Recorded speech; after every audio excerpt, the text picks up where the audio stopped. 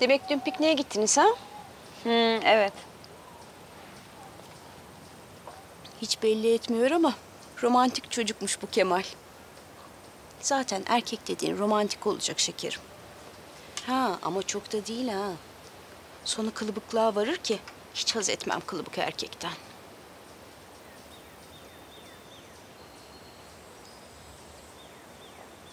Ee, Neyse. Elini tuttu mu? O kadar da değil. E, Yani sen de onun elini tutmadın. Hayır tabii ki. Yazık. Oysa ki ilk el tutuşmasında anlar insan her şeyi. Gerçekten seviyor mu yoksa gönül mü eğlendiriyor? Güvenilir ellerde miyim yoksa bir zamparayla mı birlikteyim? Ben senin kadar tecrübeli değilim kusura bakma Neriman. Tecrübe etmek ister misin?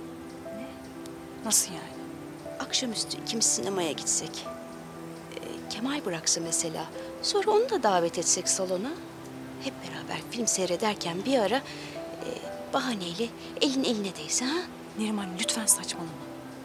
Dünyada olmaz. Hem ne o öyle hafif kadınlar gibi. Pardon şekerim. Senin kız kurusu olduğunu unutmuştum tabii. Doğru ya. Sen ölene kadar çiftliğinde müsait bir koca adayı bekleyeceksin.